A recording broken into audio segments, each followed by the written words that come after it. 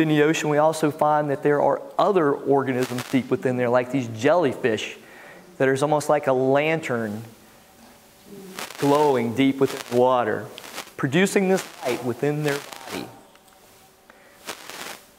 We have these little comb jellies. And these comb jellies, you've ever seen these before, have these lights that almost run down them as if you had turned on a switch and you see these little red dots and it goes from one end of the animal down to the other end. Why do they do this and how do they do this? Ah. Boy, if that's not Halloweeny. I thought it was quite interesting that they chose this topic to be close to that of Halloween. Um, uh, it looks like a monster, doesn't it? Yeah. Of course, this is a fish, and this fish lives, lives deep down within the ocean where there's uh, really almost no light taking place. The light that's being produced through there is through a chemical reaction that's taking place. And what this fish does is it has this nice little um, fishing lure, if you would, that it puts out there, illuminates some light through producing that light in his body, hence a living light. And we'll talk about why in the world this fish would have this little fishing lure out there. Back on land, you might recognize this animal sort of having a flattened out body and two pairs of legs per section. This is the millipede. This millipede is not native to our area. This is a millipede um, from actually more the southern hemisphere, if you would. Uh, but a really neat animal, uh, a millipede that bioluminates.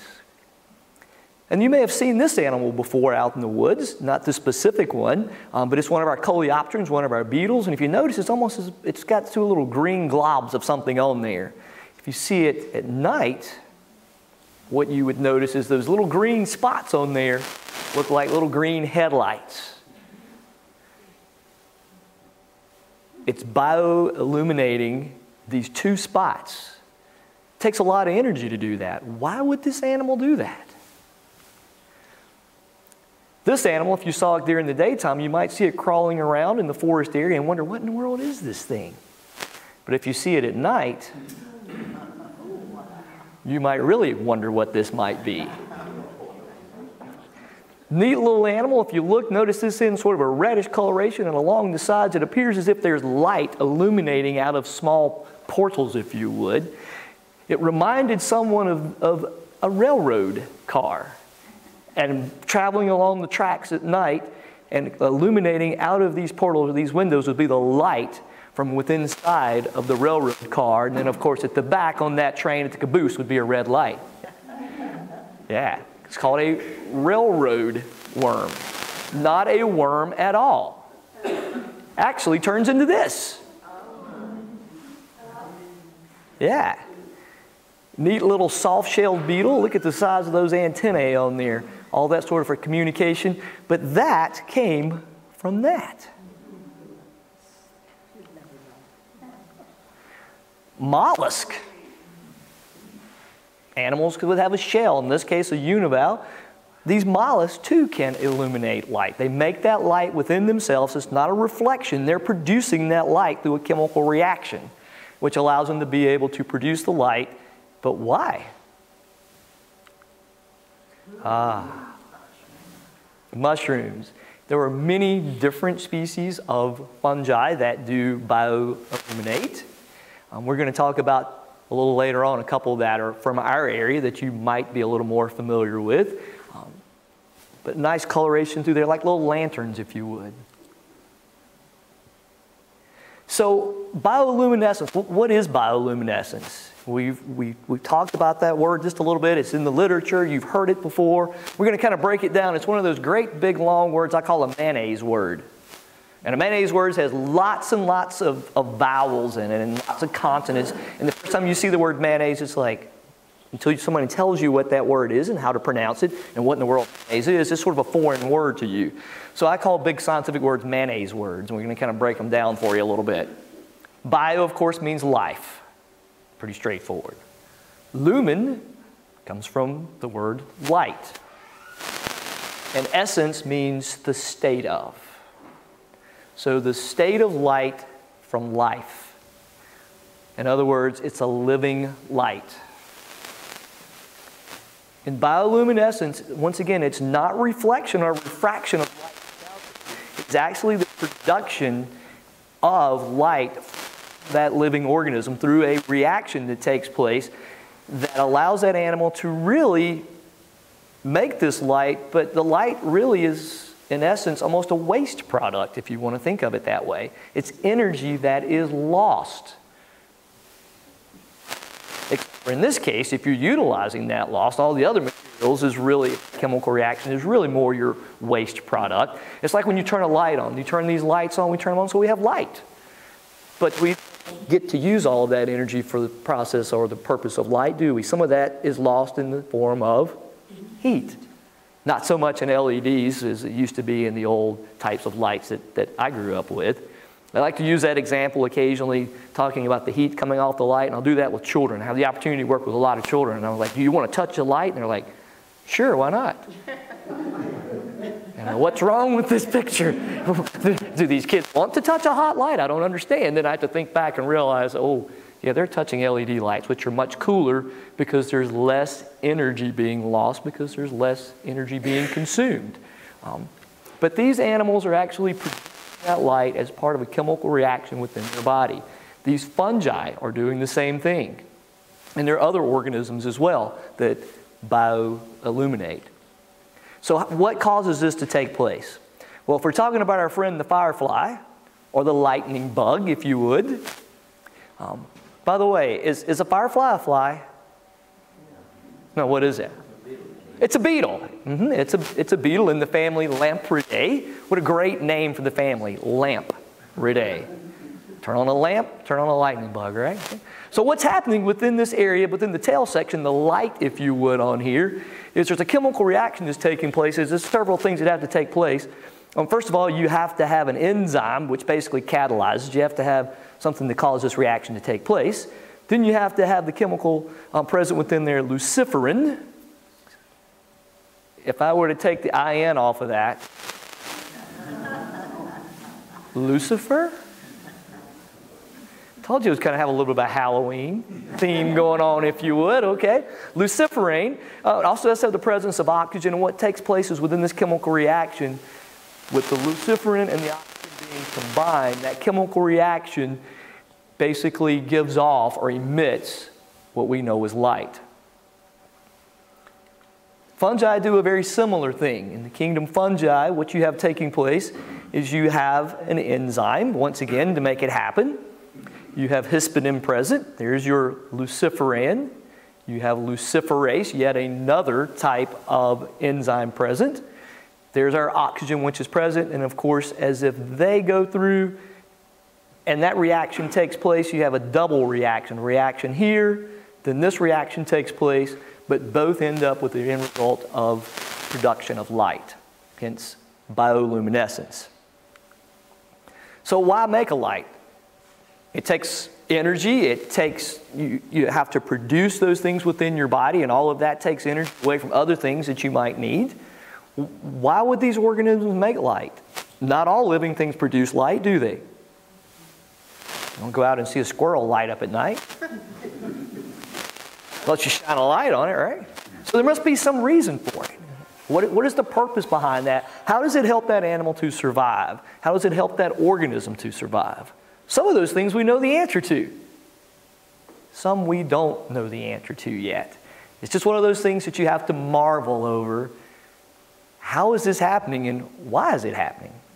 Answer still yet to come. Well, back to this monstery looking fish that's within the depths of the ocean. Why do you suppose this fish would send out this lure, if you would, and illuminate it. For attraction. Is it trying to attract a mate? Is it trying to attract a predator? What's it trying to attract? Food. This is called the angler fish, and appropriately so. If any of you fish, an angler is a fisher person, and what this fish is doing is this fishing.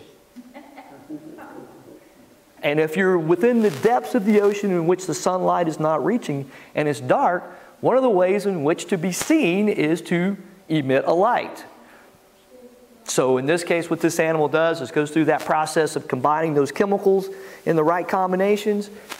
Byproduct of that, if you would, is light, but actually it's the purpose for that particular chemical reaction so that its prey will see this, come in, and lo and behold, comes in, thinks it's going to get a meal, but instead becomes a meal. Look at those teeth. Kind of interesting goatee going on there, too, I guess. Well, in the case of the anglerfish, if that is to attract its prey, what if you're something like jellyfish? Would you want to attract a predator? So, by being visible and by illuminating bioluminescence, by glowing, if you would, giving off this light in an otherwise dark environment, doesn't it make you more visible? It does. But in this case, what takes place is where these animals are, you are getting some amounts of light in the background. Notice it's not as dark back in here. Of course, this was basically a photograph so that was this lit up, you could pick up some of the particulate matter in the back. But it's actually a type of camouflage. So there's other blue lighting associated with the water. Anybody scuba dive? When you go deeper, what color is the water when you get down there? Before you run out of light, kind of a grayish green color, isn't it? And green has what two colors mixed together to get green? A little bit of art here we go. All right, it's got some it's got some blue and yellow in there. So for the predators that might see this by the fact that there is that blue light in there, the ambient blue or blue green color within the background causes this animal to be more camouflaged within its surrounding. So bioluminescence can be for attracting predators, but it can also be for camouflage to help you blend in so that you don't get eaten. Both those things pretty important in terms of survival. Well, of course, there's our, our friend from childhood, and even today, there's our firefly. Why do fireflies light up? Go ahead and say it. For mating. It's actually a way of communication in which the male and the female can communicate to one another so that they can find each other, but most importantly, they can communicate to the opposite sex that, hey, I am the same species as you. Because if they're not, then they're not going to reproduce. So, how does one, if you would, that you are the same species and would like to visit? Well, each species of firefly has a distinctive flash pattern. Each species is going to be different from the other. I'm going to show you one in just a few moments that it actually will, if you would, follow the same flash patterns as other species other than itself. Okay? So, one of the ways you advertise, if you would, to the opposite sex of your species if you're a firefly is by having a very distinct flash pattern. The other is by the color of it. Earlier I mentioned you might see a blue light or a yellow or a greenish color. If you think about all the fireflies that you've seen, they're not all the same color flash, are they? You get a different coloration. The length of the flash. Some things like blue ghost fireflies. When they light up, it's this eerie blue and it stays on and on. And then it all goes off. Others will have different patterns of flashing, and that's one of the ways you can actually identify a firefly is by the flash pattern, the color and the length. Also, the pattern. So you've got a color, you've got how long it's going on, pattern to it. The flashes that you do. It's pretty complex. But you want to make sure that if you're going to attract a visitor for the means of reproduction that you invite over one of your same species. So complex, but yet you want to make sure that you advertise to the correct one to carry on your species. The flight pattern. So now it's getting more intricate. So not only is it the color of your flash, how long are you flashing, the pattern of your flash, how many times do you flash, and then is there a pattern associated with it? Well, let's look at some examples of that. This is the one that most of us have probably seen common eastern firefly. So one most of us have seen out and about flying around. If you notice its flash, it's the one that has that almost green flash. Not the yellow that you'll see many times in the summer, but it's more of a greenish yellow or green flash. And look at its pattern. It'll drop down. These dark spots represent when the light is off. It comes down and it flashes. One, two, three, four, five, six flashes, and then the light goes out again. It goes up, it drops down, and it gets down to the bottom again. We'll come over here. One, two, three, four, five, six flashes, and then it goes out again. Does that pattern look sort of similar to something you might see within the night sky? The Big Dipper, sometimes known as the Big Dipper firefly, because of its dipping, flashing at the bottom within the cup, and then not flashing as it comes out. So as it comes along, no flash. One, two, three, four, five flashes of green, and then no flash. Signaling, in this case, the one that's flying is the male. The female is on the ground, and she's flashing back a similar rhythm, but she's not going to have that pattern because she's flightless. She's down on the ground. Synchronized fireflies. How many of you have heard of these? Oh, this is probably the one that most people hear about the most is the synchronized firefly. Big event. Um, it occurs in the Great Smoky Mountains National Park. They have a huge, huge um, turnout. As a matter of fact, if you want to go to see this and take the trolley and ride out, you got to get in a lottery to get a ticket. It's become that popular. Now, I'm going to tell you a secret. It happens in other places. Congaree National Park down in Columbia, South Carolina, synchronized fireflies. They also offer programs that you can go synchronize fireflies. Okay? Big event that takes place is a very short time period within the summer. It really depends on moisture and precipitation, usually late May or early June when they synchronize fireflies um, put on their show for each other and us as well. And then after that, they're pretty much done season in terms of, okay? So synchronized, and as the name implies, all of a sudden you're looking out and you see a little bit of light, and then you see more. And then it gets dark again, and they all come on again. It's dark again. They all come on again. And they all almost flash at the same time. Now, if you're in a location where there's synchronized fireflies, you have permission to do this. You can actually simulate the flashing time and pattern and get them to respond to you. Now, remember, they're doing this flash pattern for a very important reason, and you don't want to interfere with that too much because we want to make sure there are more fireflies in the future. But yes, you can actually synchronize and get them to pick up on the same flash pattern. And when they're flashing like that in the background, yeah. Now, I wish I could take credit for this photograph. It's not my photograph. It actually came out of uh, uh, a newspaper, I believe it was in Asheville. Photographer, it was a great article in the Asheville newspaper, and um, I found this and I was like, wow, that's incredible. Uh, the blue ghost, little tiny, tiny firefly. If you were to see this thing out in the woods, you probably wouldn't recognize it as a lampyrid, other than the fact that it's got these elongated wings. Looks beetleish, if you would, but knowing it as a firefly, I probably wouldn't even recognize it. Except if you catch them and put them in that same jar, look at the color of that light. It's this eerie blue gray color, hence blue ghost fireflies. And when they're all lit up,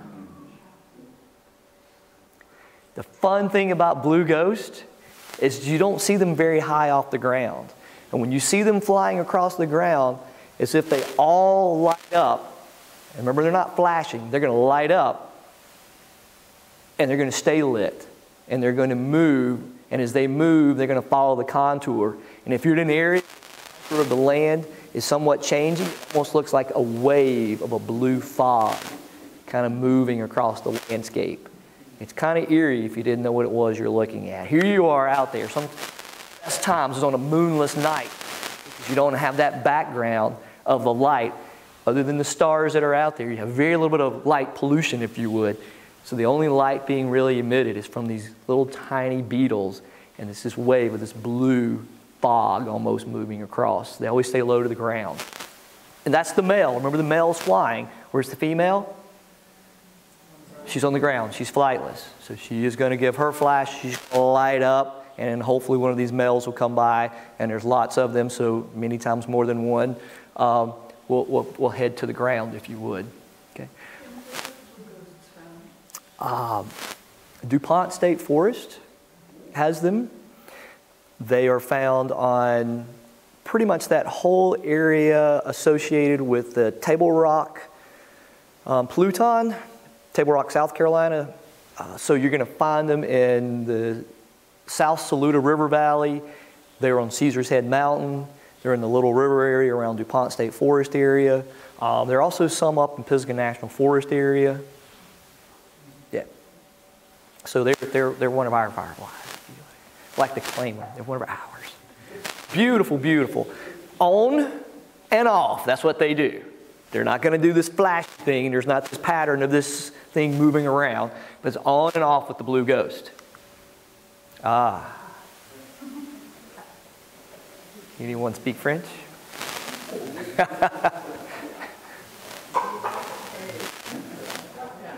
Remember, I said that each species has its own color of flash. It has its own pattern, its own length of time. Turns out there is a species of firefly in which the female will mimic the flash pattern of the male fireflies that are flying above her so that they will think that, hey, that's the right color, that's the right flash pattern, that must be one of my species. I'll head down so we can carry on our species, only to find it's the end of him. She will eat him.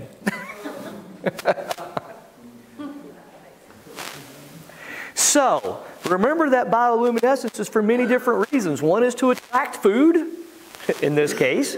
One is to be hidden from predators if you happen to be one of the prey species. Um, one is for attracting a mate. And in this case, the firefly species has figured that out. Get the right pattern of whom is flying above you, and lunch will show up. Okay? Now, you've been a pretty quiet audience. Makes me nervous. No, I'm just kidding. Any questions about anything I mentioned in terms of fireflies or bioluminescence in regards to, to fireflies? Um, I noticed fireflies typically are light up right after dusk for just a few hours. Is that typical, or do they go all night? Um, it depends on the species and it depends on the climate conditions at that time.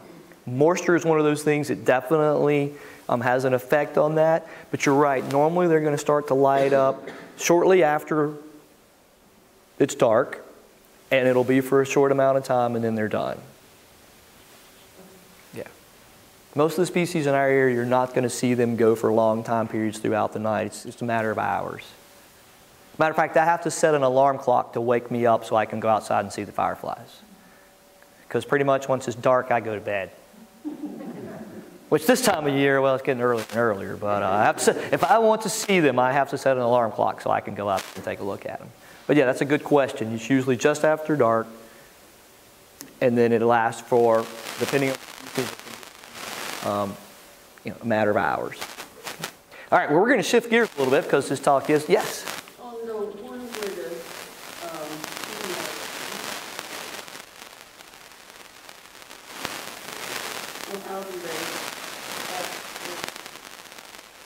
Well, there's a different reproductive strategy, but in this particular case, they can't mate with one another. She attracts basically the male down by flashing the right patterns and colors and things of that nature. It comes down, and the whole purpose is for feeding purposes, not for reproduction. At least not directly. She's going to get energy, and it takes energy to reproduce. So are they of the same species? No, That's what I said, she's a different species. She's a different species. She is mimicking the color and the pattern of the species that are flying above her, but different species. though that the fireflies really like taller grasses, and so um, I, I don't see as many, and I don't have as much tall grass. So where, what, what is they like? I mean, if you have just short grass, are you going to see? You're going to see fewer. You're going to see fewer fireflies in short grass. That you don't. Not really tall, tall grasses No. like long, you know, tall blue stem or something of that nature. Uh, but yeah, they're really short grass. You, you, you're not going to see the same number of them. It's going to have fewer of them. This is also an interesting thing. If you happen to have fireflies in an area that you are, just remember the females can't fly. They're on the ground. So as you're walking around, watch where you step. But the, the female that eats the other species has her own pattern for her own species when she is with. Yes, she, she has her on patterns, flash, everything that will to attract for reproduction. Do firefly larvae light up? They do. They do. Firefly larvae do light up, and sometimes that's where you'll find the word glowworm. But a glowworm does not have to be just the larva, or is not just the larva of firefly species. Glowworms can also include some of the beetles.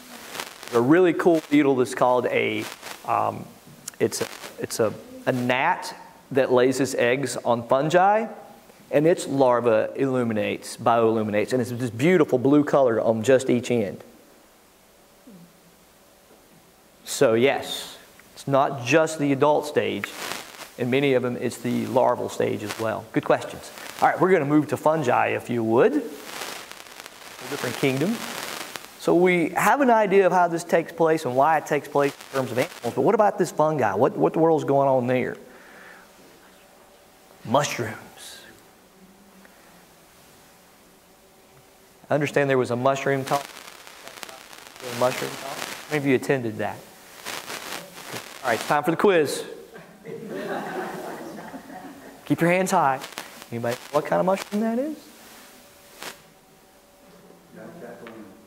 Not jack o' lantern. It's a good guess. The honey mushroom. And if you look, it almost looks like a honey colored mushroom. Um, honey mushrooms.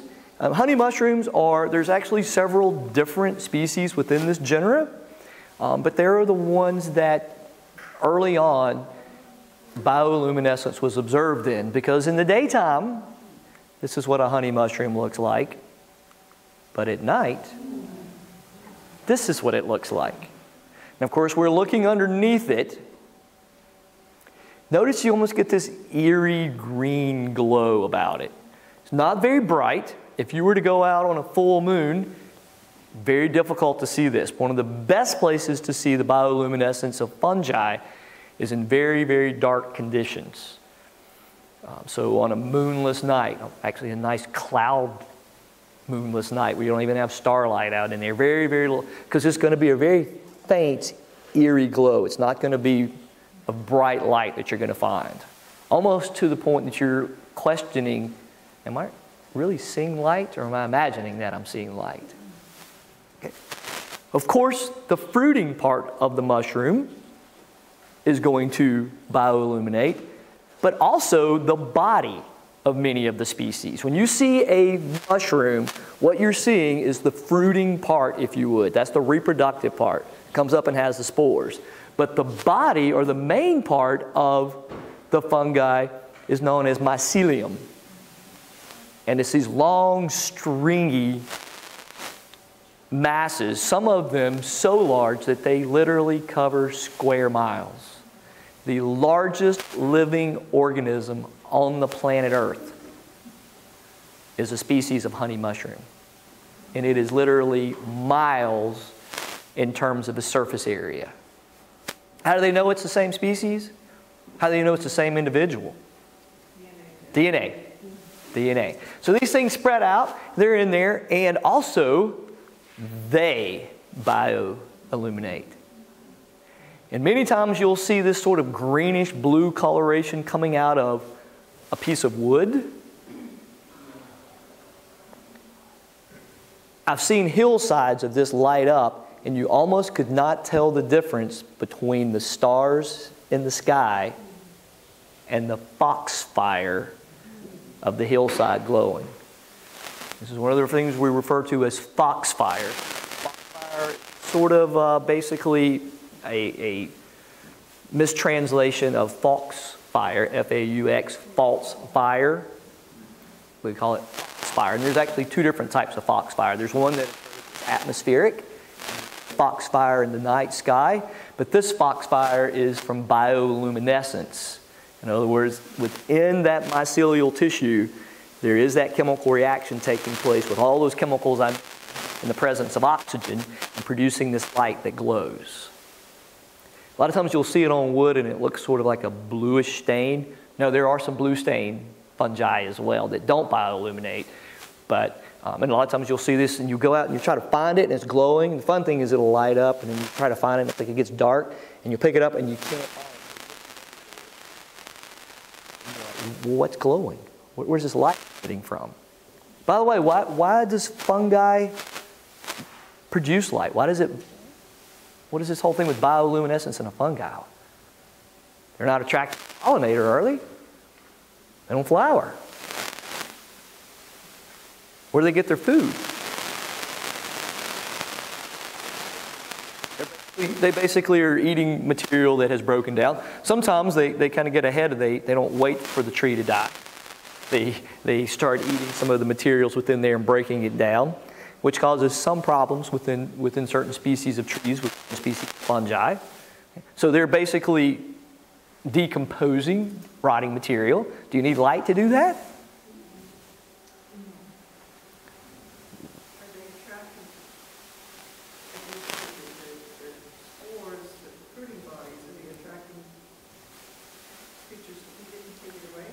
One of the theories is maybe the idea is you attract a spore disperser.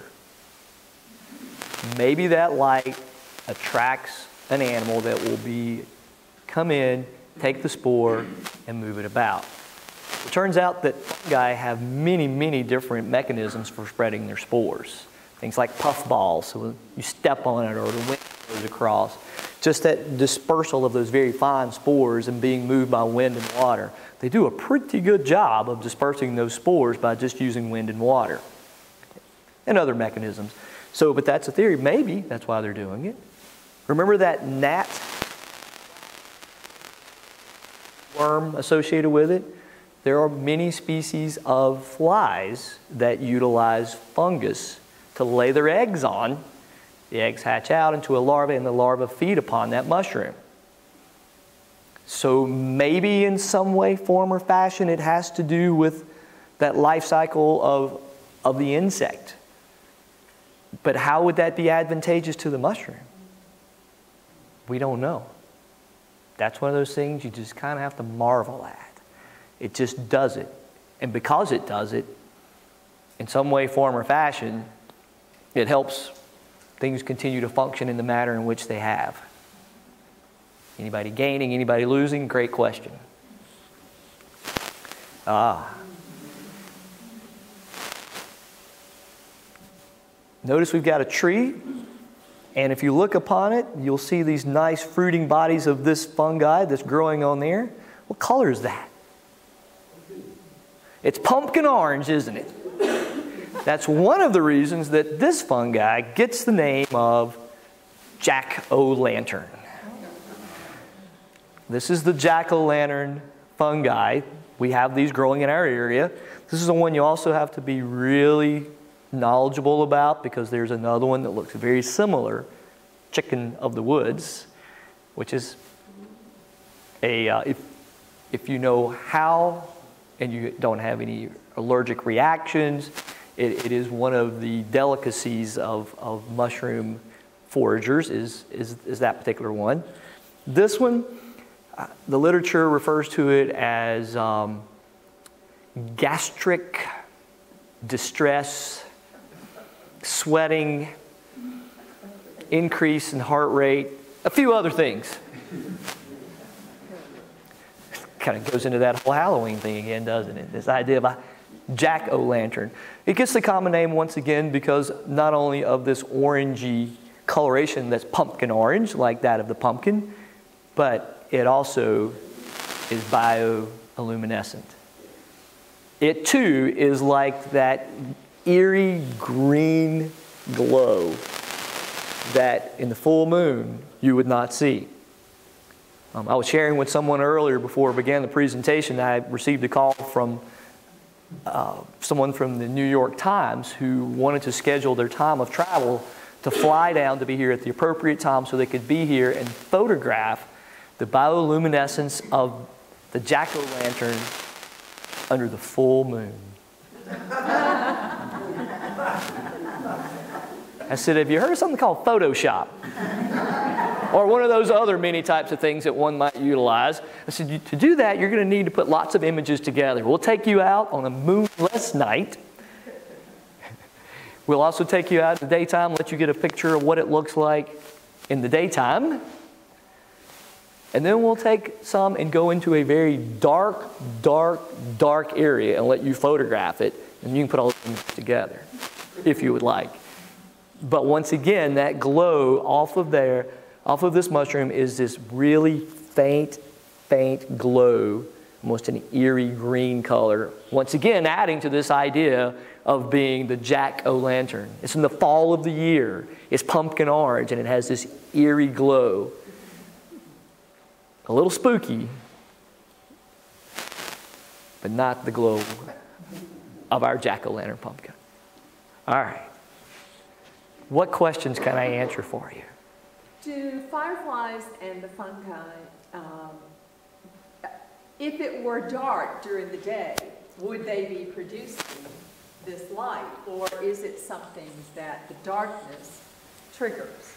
Yes, you, yes, you, yes, you can take them and you can take a firefly or fungi and you can actually take things that behave differently in the absence of light and put them in the absence of light. In other words, take them out in the daytime, take them into a dark area, they light up. But are they lit up during the day but we can't see it is my question. Um, they don't light during the day. At least the fireflies don't light during the day. And there are actually some fireflies that don't have a light at all. For whatever reason, evolutionarily, the need for that light has been lost. So Just gave up. they continue as a species, but they don't have to light up. Uh, We have some uh, jack-o'-lanterns on an oak stump, and uh, I see little bites taken out of them. So are they okay for some animals to eat? Yes? Mhm. They are?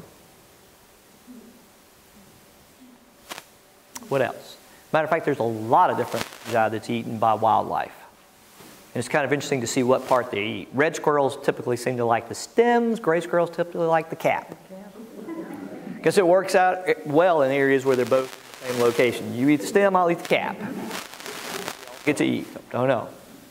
Yes, Beth? Um, Tim, is there a special environment in the forest where you would be likely to see these uh, fungi that are luminescent? Um, you're going to typically find most of the ones we've talked about in oak hickory forest. So if you go out into a pine forest, you're not necessarily going there to see these. So typically in a hardwood forest, uh, usually with a lot of rich organic material in terms of the fungi, you've got lots of material. If you don't have a lot, then you'll also have a lot of what they call large woody debris. So if you've got large fallen over logs and things of that nature, so you've got lots of food source in there. You also notice when do you see the greatest number of fungi? After rains. They're just sitting there waiting for the right conditions. So, in areas that are more xeric in nature, in other words, drier in nature, you're going to have a different group of fungi and you're going to have a less amount of those. These guys, jack o' lantern, honey mushrooms, and there's actually several others that bioluminesce. Uh, hardwoods, moist soils, rich in organic material. You can actually, I saw this the other day, an advertisement popped up that you can, you can buy a bag of glowing fungi. Basically, I guess it's got spores in it. I, I, don't know. I, I didn't read into it that in depth, but it was kind of this black bag and it had this eerie green writing on it. And maybe it was for Halloween, but you can, but you can inoculate them. Matter of fact, I actually heard one possibility might be really cool to illuminate the entranceway to an amphitheater would be to plant foxfire and honey mushrooms up through the area. And they were like, that'd be cool, but better make sure they're not any growing in the aisles. You need total darkness in the aisles. or, or people who can see really good. Yes, sir. Do all the fireflies seem to illuminate uh, about the same time of the year? It is staggered depending on the species.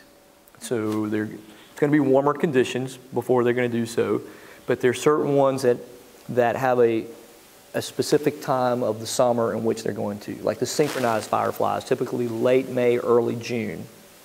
And then after that, no great number of them, if at all. That's pretty much the same time for the blue ghosts. Pretty close. hmm Blue ghost is about the same time.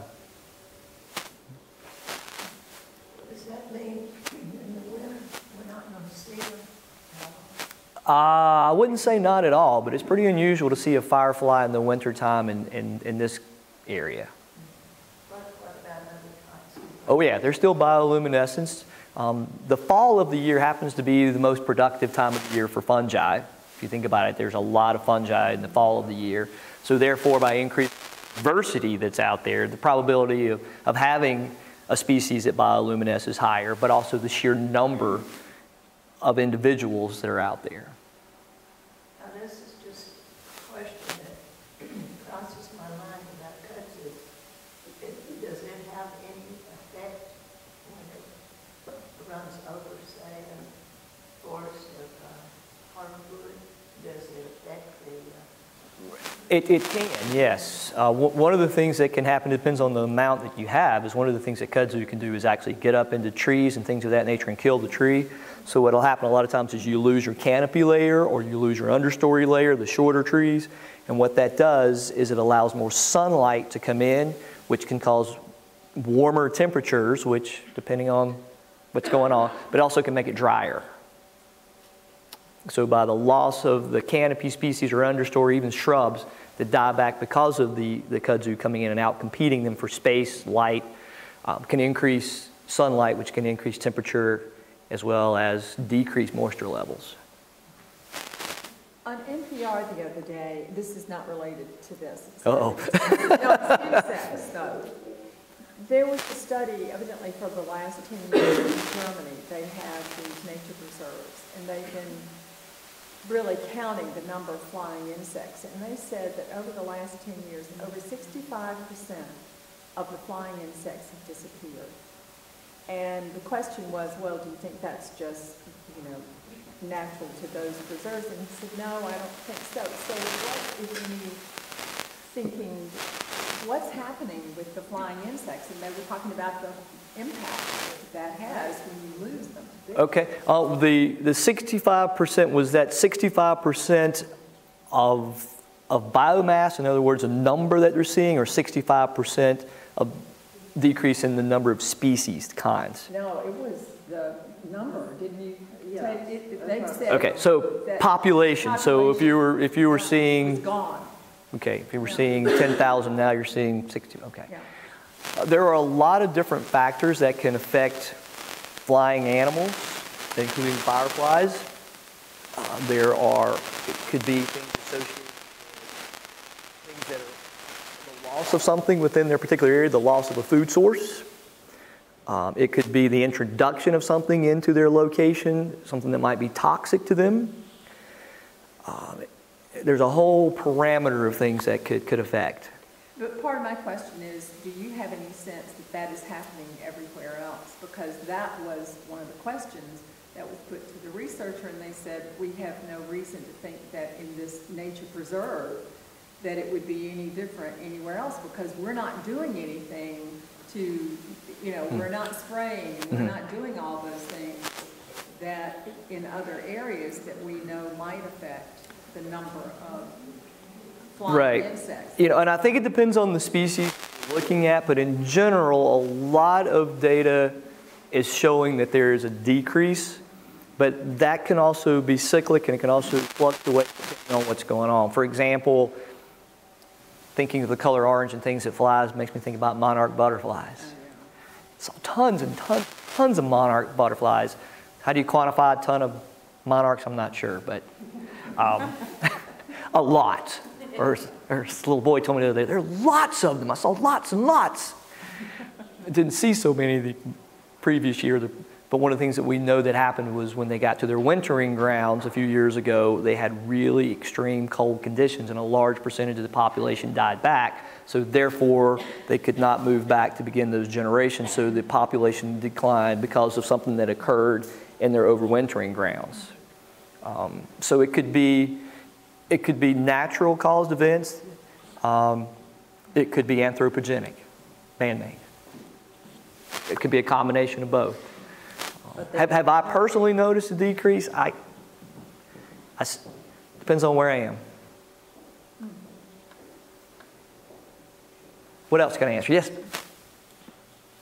No, I was just thinking with flying insects, you could have, in one year, you could have a massive change, and then that wouldn't necessarily mean that it was a permanent change. Right.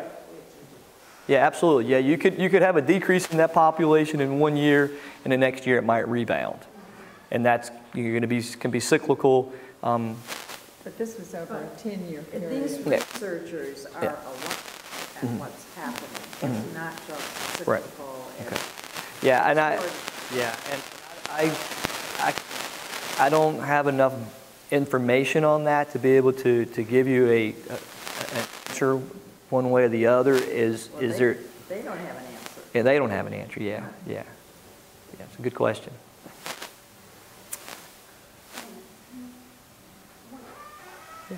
One of your comments was about, when someone asked about the height of the grass, hmm and of course, when we mow the lawn, I guess we're killing the female ladybug. Uh, they, they,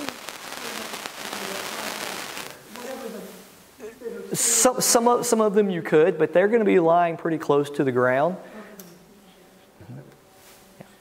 And there's some, and there are actually some locations where they know that they have fireflies. That they also don't allow access time because they know they're there. Do the females climb up and down? They can, yes, they can. Yeah, they, they're, they're, they can't fly, but they, they are larvae. They do have little structures that allow them to be able to, to move, so they can crawl up and down stems. On the ground, usually. Sometimes on a stem, sometimes on a small blade of grass, like the photograph that was there. They were on a blade of grass. Mhm. All right, well, I would be more than glad to stay around and answer any questions that you might have, um, but also I want to be uh, respectful of your time because uh, time is one of those things that's very valuable. So I would like to close in saying thank you to each of you for giving me a gift to which I cannot return to you, and that's your time. You could have chose to be anywhere else today, but you chose to give me an hour of your life. So I greatly appreciate it, and I hope it was worth your time.